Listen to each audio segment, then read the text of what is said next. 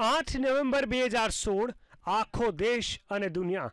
જ્યારે અમેરિકાના રાષ્ટ્રપતિ પદની ચૂંટણી પર મીટ માંડીને બેઠું હતું, ત્યાં અચાનકથી પીએમ મોદીએ આવીને ભ્રષ્ટાચારીઓ પર સર્જિકલ સ્ટ્રાઇક કરી હતી.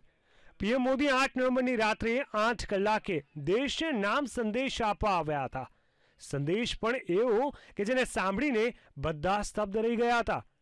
પીએમ મોદીએ આઠ નવેમ્બરની મધરાત્રિથી રૂપિયા પાંચસો અને એક હજારના નોટને અમાન્ય કરવાની ઘોષણા કરી છે.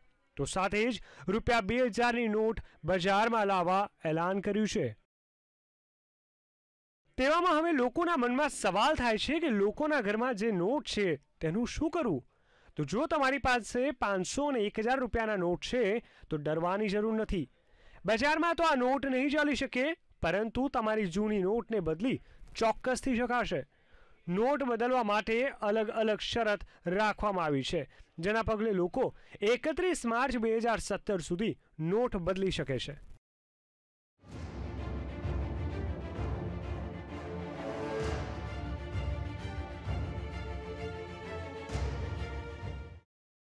પરંતુ નોટ બદલવી કેવી રીતે? તે અંગે તમને જણાવીશ. જેમની પાસે પાંચસો કે એક હજાર રૂપિયાના નોટ છે, તો તેઓ દસ નવેમ્બરથી ત્રીસ ડિસેમ્બર સુધી બદલી શકે છે. આ નોટ બેંક કે પોસ્ટ ઓફિસમાં બદલી શકાશે. પરંતુ જો કોઈ કારણોસર લોકો આ સમય દરમિયાન નોટ નથી બદલી શકતા, તો તેના માટે પણ ઉપાય છે. અને લોકો ઓળખપત્ર બતાવી એકત્રીસ માર્ચ બે હજાર સત્તર સુધી નોટ રિઝર્વ બેંકમાં જમા કરાવી શકશે. પીએમ મોદીએ કરેલી ઘોષણામાં કેટલાક અન્ય મહત્વના નિર્ણય પણ સાંભળવામાં આવ્યા છે. તેના પર નજર કરીએ તો તે બે દિવસ એટલે કે નવ અને દસ તારીખે એટીએમ બંધ રહેશે. આ સાથે નવ તારીખે બેંક પણ બંધ રહેશે. ઘણા લોકોને એ વાતની મુશ્કેલી પડશે, ખાસ કરીને ઇમરજન્સીમાં કે બેંક અને એટીએમ બંધ હોવાથી નવી નોટ મેળવવી કેવી રીતે?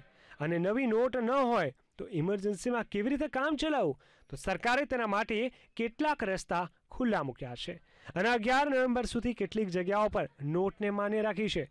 અગિયાર નવેમ્બરની મધ્યરાત્રિ સુધી સીએનજી સ્ટેશન પેટ્રોલ પંપ પર નોટ ચાલી શકશે. એરપોર્ટ, દવાની દુકાન, બસ સ્ટેન્ડ પર પણ નોટ માન્ય રહેશે. આ સિવાય હોસ્પિટલમાં પણ અગિયાર નવેમ્બર સુધી નોટ ચાલી શકશે. મહત્વનું છે કે છેલ્લા કેટલાક સમયથી દેશ આતંકવાદ અને કાળા નાણાં તેમજ ચલણી નોટની તસ્કરીનો ભોગ બની રહ્યો છે. તેવામાં પીએમ મોદીએ આ પ્રકારનો નિર્ણય કરી ખરેખર દેશના ગદ્દારો પર સર્જિકલ સ્ટ્રાઇક કર્યું છે.